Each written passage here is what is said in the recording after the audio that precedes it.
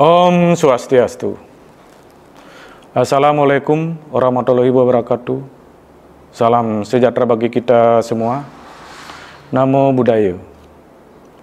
Yang saya hormati para orang tua, peserta didik SMA Negeri Satu Negara.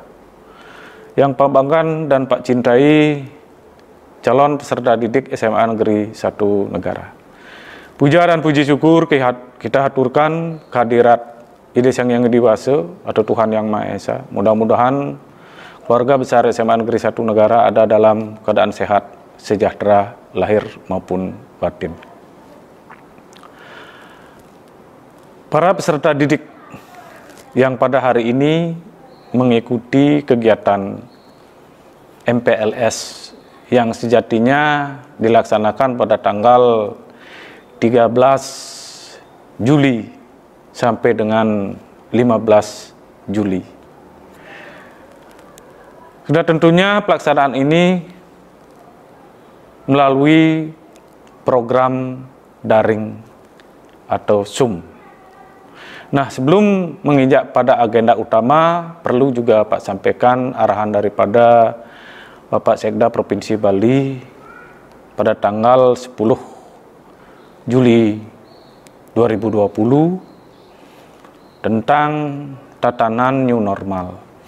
Nah, untuk tatanan new normal ini bisa dilaksanakan oleh tatanan masyarakat, sedangkan di pendidikan belum mengikuti new normal, masih melaksanakan pembelajaran daring metode psikologi yang dilaksanakan di SMA Negeri Satu Negara.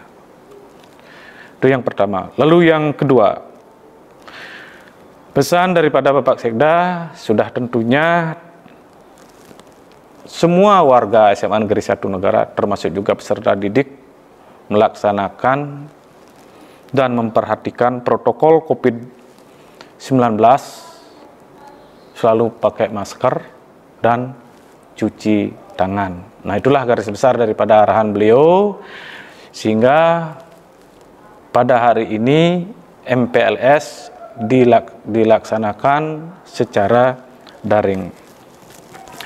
Nah, dengan demikian, jadi Pak selaku kepala sekolah akan menyampaikan program SMA Negeri Satu Negara yang tidak terlepas daripada visi dan misi SMA Negeri Satu Negara.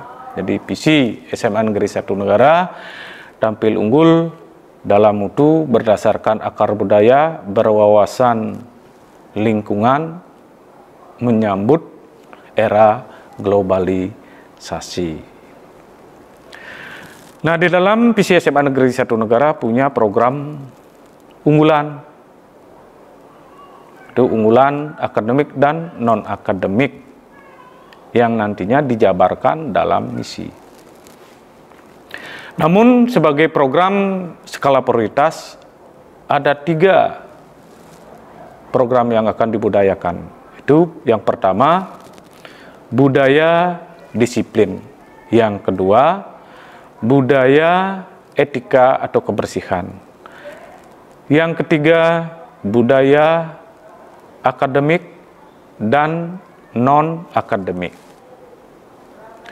Nah, ketiga ini, ketiga tri budaya ini harus dibudayakan oleh seluruh peserta didik SMA Negeri Satu Negara setiap hari itu harus dibudayakan. Itu budaya pertama, budaya disiplin. Nah, budaya disiplin ini mengarah pada tata tertib dan aturan yang ada di SMA Satu Negara. Nah, salah satunya disiplin. Disiplin bangun pagi.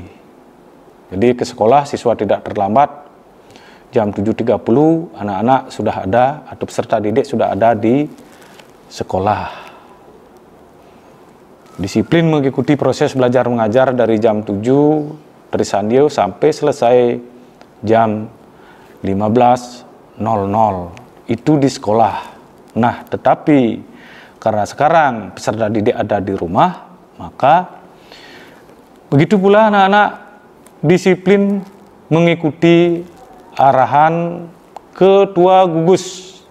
Ya peserta didik mengikuti arahan-arahan ketua gugus. Apa yang disampaikan lewat daring anak-anak dengan penuh disiplin.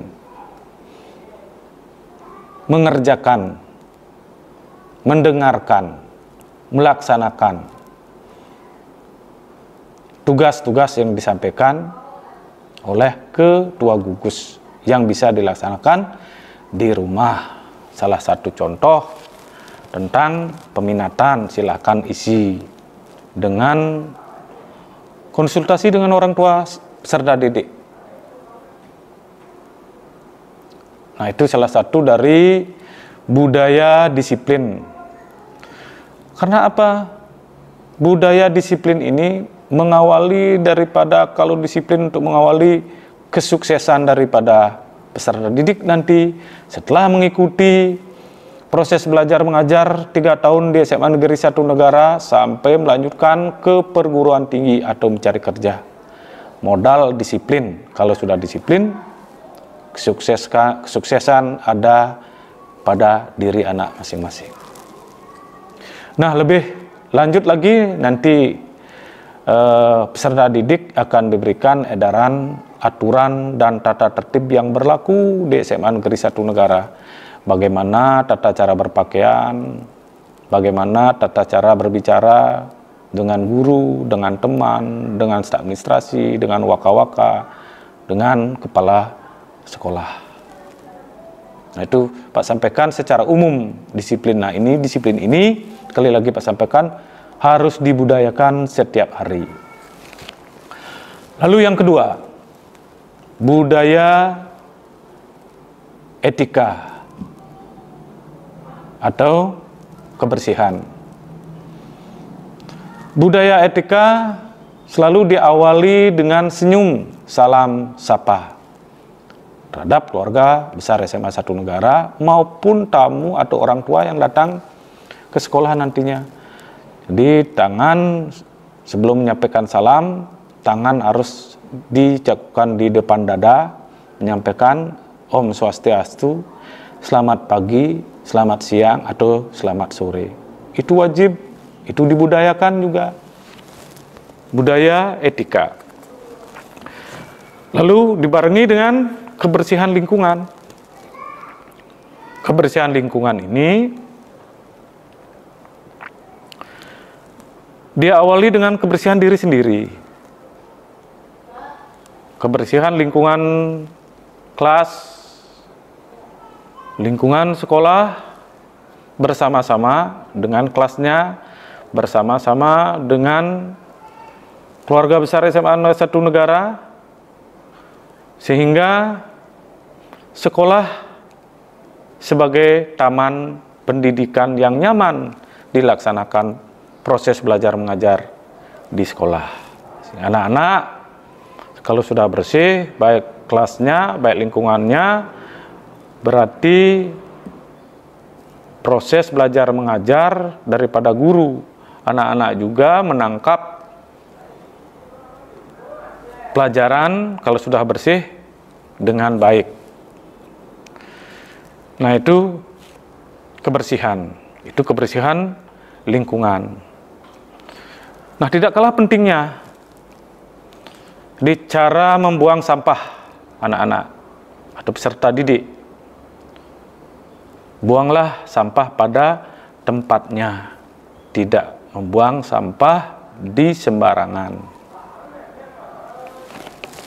Nah, dengan, dengan demikian otomatis budaya etika, budaya kebersihan selalu dilaksanakan, dibudayakan setiap hari sehingga sekolah menjadi taman pendidikan yang nyaman, kondusif. Lalu yang ketiga, yang ketiga budaya akademik dan non akademik. Nah, budaya akademik non akademik. Di budaya akademik sekolah mempunyai program message kontes matematika ekonomi, sains kontes yang akan nanti lebih lanjut mengikuti lomba-lomba baik lomba di tingkat kabupaten, lomba di tingkat provinsi maupun nasional. Nah ini message kontes di bidang akademik, sedangkan non akademik punya unggulan Semansa Cup bola basket. Nah, bola basket dari tahun ke tahun SMA Negeri Satu Negara menjadi juara satu Semansa Cup di Kabupaten Jemberana yang nantinya mengikuti DBL di tingkat provinsi. Nah, ini begitu pula untuk akademik kita budayakan setiap hari belajar, pelajaran belajar sehingga memperoleh prestasi yang maksimal bagi siswa SMA Negeri Satu Negara. Nah, ada beberapa testimoni yang Pak sampaikan pada hari ini, ya. Salah satu siswa terbaik SMA Negeri Satu Negara yang memperoleh medali perunggu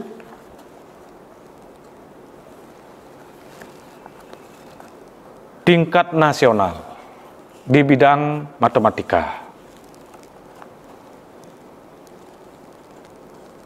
Yang diadakan di Manado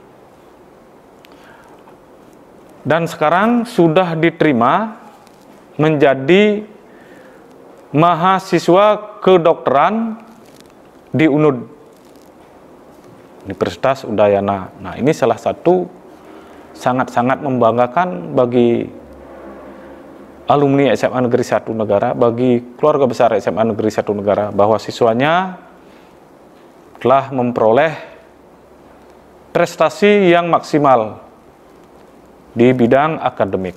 Itu salah satu contoh. Itu di akademik. Banyak lagi prestasi-prestasi yang dicapai oleh SMA Negeri Satu Negara di bidang O2SN, salah satu siswa SMA satu negara memperoleh medali perak tingkat nasional yang dilaksanakan di Aceh. Ini luar biasa. Mungkin satu-satunya nantinya sejarah yang mencatat bahwa di tahun 2019 baik akademik dan non-akademik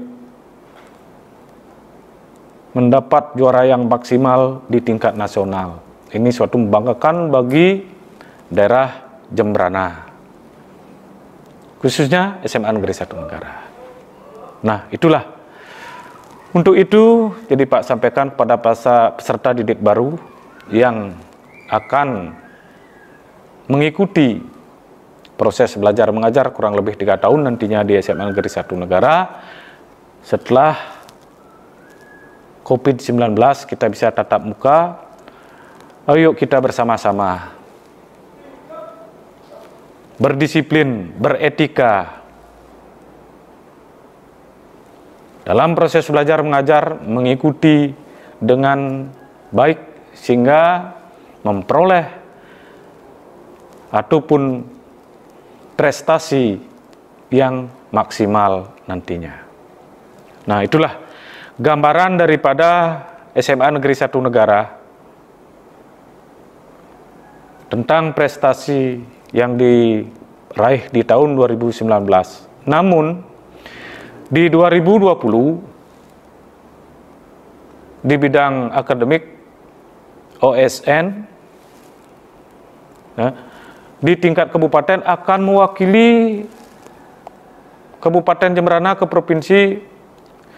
Itu yang menjadi juara satu matematika juara satu kimia juara satu di bidang OSN Olimpiade Sains Nasional yang ketiga di bidang ekonomi itu juara satu yang akan nanti bertanding di provinsi Setelah di provinsi baru ke tingkat nasional. Namun sayang karena ada bencana nasional COVID-19 sehingga lomba-lomba yang diadakan di baik di tingkat kabupaten, baik di tingkat provinsi, baik di tingkat nasional dibatalkan, tidak dilaksanakan. Nah, demikian penyampaian program unggulan di SMA Negeri Satu Negara dengan visi dan misinya.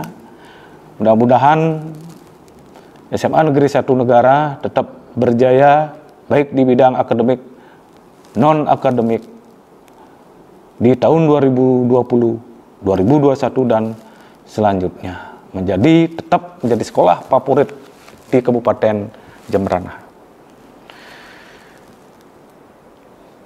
Dan demikian Pak sampaikan mudah-mudahan peserta didik di rumah melaksanakan tugas-tugasnya dengan baik, mengikuti arahan-arahan ketua gugus dengan baik, sehingga semua pelaksanaan MPLS dari tanggal 13 sampai dengan tanggal 15 berjalan dengan lancar. Pak tutup untuk para musanti. Om Santi Santi Santi Om.